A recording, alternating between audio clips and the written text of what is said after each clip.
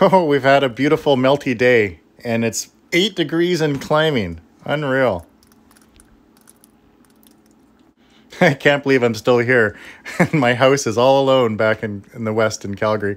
But we had a bunch of snow yesterday and I can smell the spring in the air. I'm pretty sure it's time I should go home, at least for a little bit, and prepare for the summer. Anyway, let's get to uh, some more nabooing. Hey, what's going on, my nabooers? I uh, got something kind of cool to show you today. I've been frustrated copying files between disk images and CPM and Cloud CP/M to the computer, back and forth, back and forth. And also I did a video about how complicated it is to copy files between user areas in Cloud CP/M. Um, or any CP/M. so I created a program called RNCMD, so RetroNet command. And Let's take a little licky look at it. So we can list files remotely um, with the rncmdldir command. So it'll list whatever files are inside of your RetroNet adapter store folder, which you can find out where that is by looking inside of your settings, RetroNet, and you can change this folder if you want. So any files that are in here, you'll be able to list from the Nabu. So let me demonstrate that by creating a file in here. Why don't I just create a file called, um, actually, you know what we'll do? Let's build a file and put it in here. So let's go to my programs. There's a program I wrote last night um, called DPB, which is a disk. Um, there we go. Uh, it displays the blocks uh, configuration of the CP/M BIOS. So we'll just copy this file here and let's paste it inside of our documents. There we are. Paste that in there. Okay, we got a file that I created in there. We'll delete that DSK. Okay, so if I'm on my Nabu, and I have this file here and I want to run it on my Nabu, what I could do is I can type in rncmd ldir, and that's going to show me the files that are inside of here. There it is. So there's my DPB view that we just copied in. So let's put that onto our C drive. So what I'll do here is I'm going to type in um, rncmd. So we're going to do an example copy from the internet adapter to a drive. So we're gonna wanna type in RNCMDIA is your prefix for internet adapter. And we'll just type in the file name, which is dpbview.com.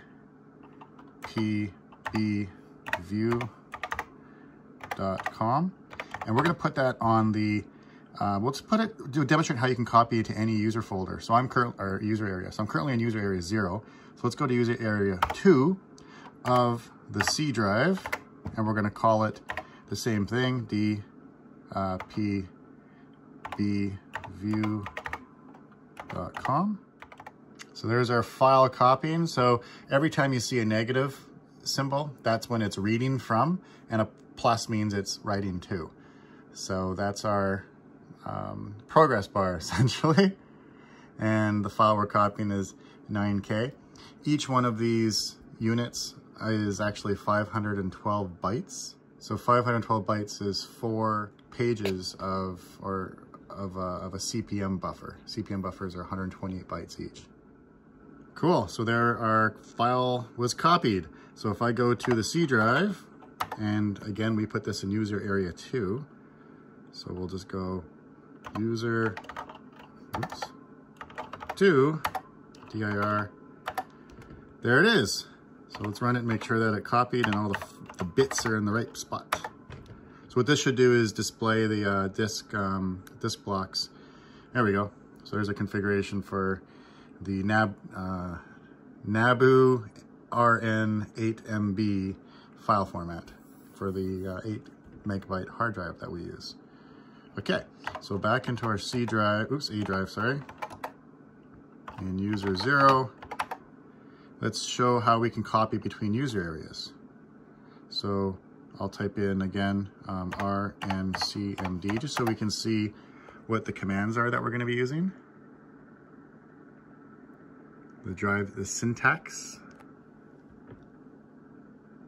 So let's try copying a local file from one folder to another. So what I could do here is rncmd. Now we have a file here on the A drive. Actually, let's go crazy. Let's go to our C drive, the file we just downloaded, dpbview.com. Let's put that on the seventh user area of the B drive. And we'll just call it the same thing, dpbview.com. Go, copy. So if we go over to our internet adapter, we can see here that there's lots of activity occurring as it's opening and closing drives, copying between the two different drives. Our file has been copied. We visit the B drive and jump into user area 7 and take a little look-see here. Ta-da! Okay, so the next thing we can do, which is the last thing I'll show you for RNCMD, is we can copy files from the Nabu into the uh, store folder. And an example here is copy um, this one here, copy from the A drive to the IA. So I'll just jump into the B drive. Let's find a file that we want to copy. DIR. Let's see if anything in here is not significantly large. Hmm. These are all ROM files. They're going to be big, but let's try it anyway. So let's copy uh, goonies.rom. So I'll just jump back into my A drive where uh, RNCMD is. And we're going to go from the user area 0 of the B drive. And the file is going to be goonies.rom. And we're going to copy that into the internet adapter, Goonies. There we go. Got it? Boom. And file has begun copying. We can see here there's our Goonies file. Ooh, I didn't put the .com on the end, so it's just a Goonies. But you can see that it's copying and we have our blocks being displayed here. As well as you can see the uh, internet adapter doing its thing. While that copies, let me tell you a little bit about Cloud CPM. Um, as you know, I've been on a kick for optimizing code. That's been my thing lately. And that has resulted in a ton of updates, as you might have been noticing, to the Cloud CPM BIOS and to uh, a bunch of the software that resides on the drives. And yeah, I'm pretty happy with it. Um, a bunch of neat things I've done, which, which has been fun. For example, I added and let's see, where is this? Yeah, here's our stack where I save and restore the stack for each function. And this is something I didn't know. Um, EXX.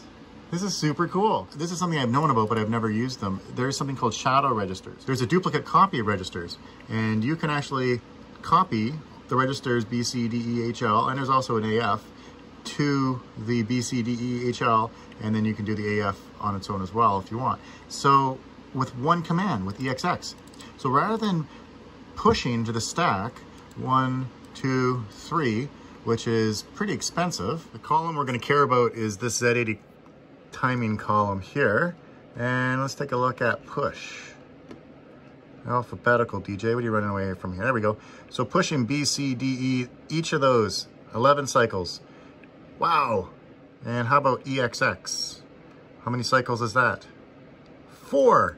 So consider what we just did in savings here. DE, and then another push for BC, another push for HL. So those alone, three of them, that's 33 cycles, three times 11. And we replace that with just an EXX, which is just four cycles. So, wow, that's a, that's a huge savings right there.